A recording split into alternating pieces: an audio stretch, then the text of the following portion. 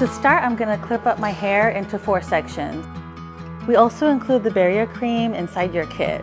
What this does, it prevents staining along your skin and your ears. Now I'm gonna mix the color. This is your activator bottle, and this is your color.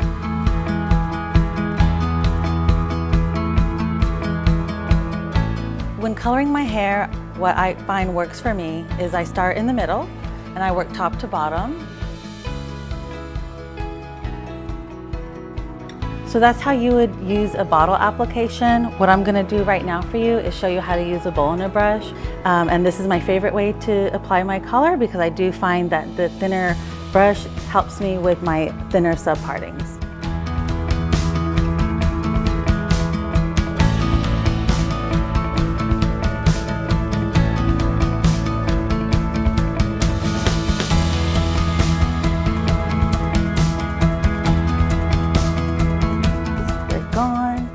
Have nice shine in my hair.